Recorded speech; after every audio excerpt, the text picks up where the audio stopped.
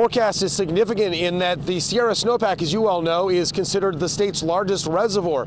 It holds water on the mountain forest, but with rain at the highest elevations, that means that rain is going to be coming down the mountain and not being stored on the mountain as snow, and that means a lot of inflow into area lakes and reservoirs. We need it.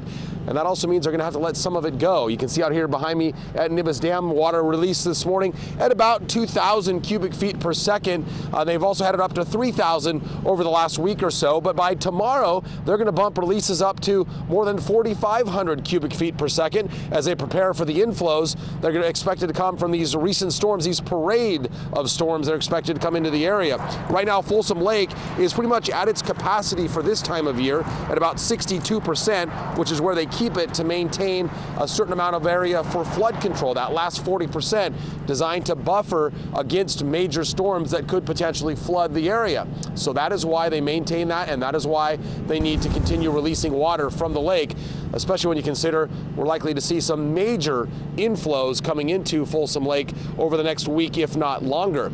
During the last major storm event, we saw outflows, uh, excuse me, inflows coming into Folsom Lake well over 10,000 cubic feet per second. So we'll have to see what the inflows look like from this latest storm and how they'll respond to it here at Nimbus Dam.